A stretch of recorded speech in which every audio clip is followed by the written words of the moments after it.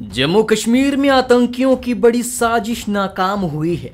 दरअसल बीएसएफ ने अंतर्राष्ट्रीय सीमा के पास एक सुरंग का पता लगाया है। ये सुरंग पाकिस्तान की ओर से खोदी गई थी। बताया जा रहा है कि आतंकियों की साजिश अमरनाथ यात्रा को टारगेट करने की थी। ये सुरंग 150 मीटर लंबी है। बीएसएफ के मुताबिक ये सुरंग 4 मई को सांबा सेक्टर में मिली है। सुरंग दो फीट चौड़ी थी। इसे हाल ही में खोदा गया है। सुरंग से 21 रेत के थैले भी बरामद हुए हैं। इनका इस्तेमाल सुरंग के निकास को मज़बूत करने के लिए किया गया था। बीएसएफ ने जम्मू कश्मीर में डेढ़ साल में ये पांचवी सुरंग का पता लगाया है। बताया जा रहा है कि इस बार आतंकियों की साजिश अमरनाथ यात्रा को टारगेट करने की थी। हालाँकि सुरक्षा कर्मियों और सुरक्षा बलों की मुस्तैदी से ये साजिश नाकाम हो गई।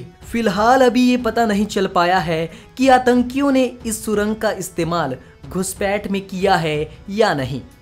इससे पहले नवंबर 2020 में सुरक्षा बलों ने सांबा सेक्टर में पाकिस्तान से सटे अंतर्राष्ट्रीय सीमा के पास एक सुरंग का पता लगाया था।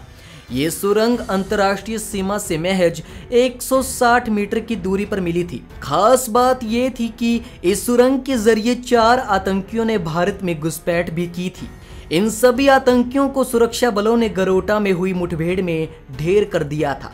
इसके अलावा बीएसएफ ने जम्मू के पंसार, सांबा, हीरानगर और कठुआ में सुरंग का पता लगाया था। बीएसएफ ने जम्मू के सुंजबा इलाके में 22 अप्रैल को हुई मुठभेड़ के बाद अंतर्राष्ट्रीय सीमा के साथ किसी भी सुरंग का पता लगाने के लिए बड़े पैमाने पर अभियान शुरू किया है।